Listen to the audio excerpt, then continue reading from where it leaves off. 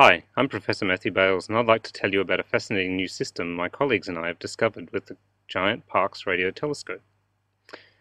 The Parkes Telescope is in New South Wales in Australia and is a prolific discoverer of special stars astronomers call pulsars.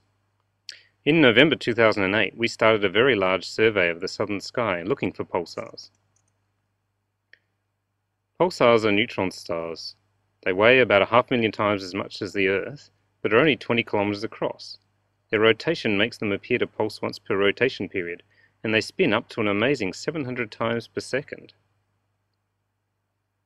The radio waves from the pulsar travel across the galaxy and are focused by the dish in what we call the focus.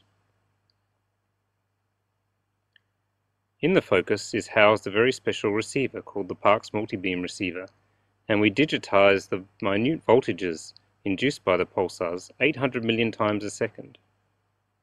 In 2009, a 5.7 millisecond pulsar was discovered on our supercomputers, and our colleagues at Jodrell Bank soon realized that this star was orbiting another object every two hours. The motion of the pulsar told us that the companion only weighed about as much as Jupiter, and is incredibly dense, similar to that of platinum. The rapid spin of the pulsar tells us that the system once possessed a massive accretion disk, as the pulsar stripped matter from its stellar companion. The leftover of this star is what we see today as the planet.